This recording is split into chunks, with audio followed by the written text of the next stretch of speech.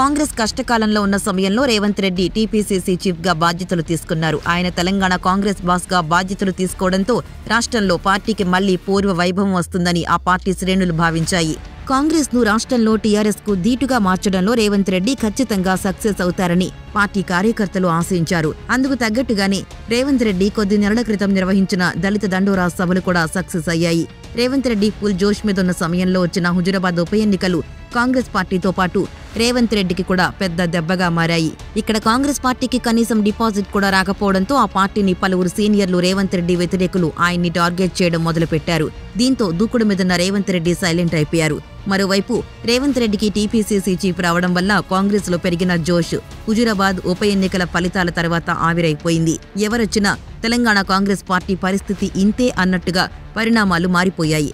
అయితే హుజురాబాద్లో ఎదురైన దారుణమైన ఫలితాల నుంచి కాంగ్రెస్ ఇప్పుడిప్పుడే కోలుకుంటోంది. మరోవైపు రాబోయే కొన్ని నెలల కాలంలో తెలంగాణలో ఎలాంటి ఎన్నికలు లేకపోవడం కూడా రేవంత్ రెడ్డికి కలిసొచ్చే అంశమని పలువురు అభిప్రాయపడుతున్నారు. టీపీసీసీ చీఫ్గా బాధ్యతలు తీసుకున్న సమయంలోనే తన టార్గెట్ తెలంగాణ అసెంబ్లీ ఎన్నికలు అని స్పష్టం చేశారు రేవంత్ రెడ్డి.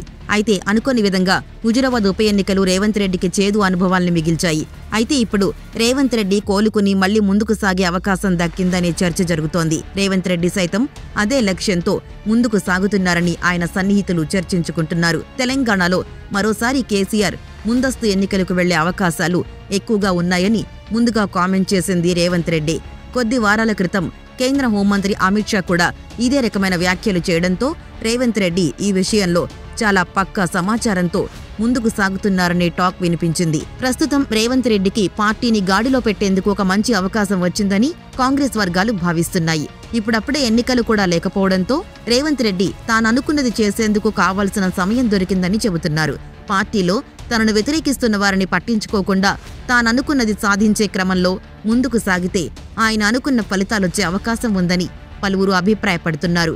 ప్రస్తుతం రేవంత్ రెడ్డి అదే పనిలో ఉన్నారని కాంగ్రెస్ సంస్కృతిని తొందరగా అలవాటు చేసుకుని ఆయన ముందుకు సాగేందుకు ప్రయత్నిస్తున్నారని పార్టీలో చర్చ జరుగుతోంది.